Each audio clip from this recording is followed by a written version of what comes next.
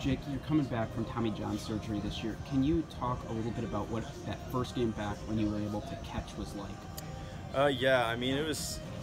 I was pretty comfortable because I've been throwing a lot going into it, but uh, I guess I wasn't really. I didn't have full confidence in my arm just because of the surgery. I wasn't fully used to throwing a ball 100% yet and really trying to let it go. And I was.